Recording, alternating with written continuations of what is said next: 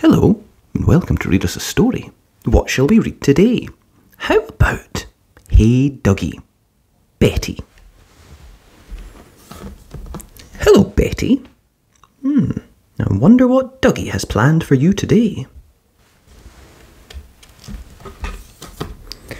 Betty is a purple octopus. She likes talking to her friends at Squirrel Club.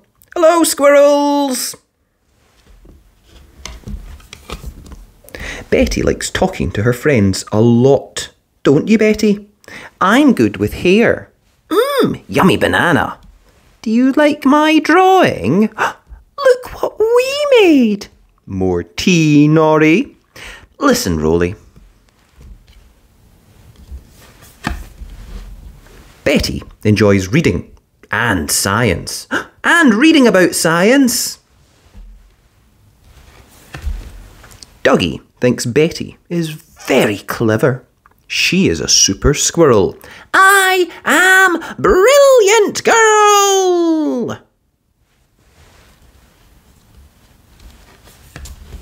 Most of all, Betty loves a Duggee hug.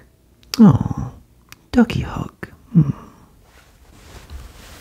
Betty. Betty is a purple octopus. She loves science, reading, and being part of Squirrel Club.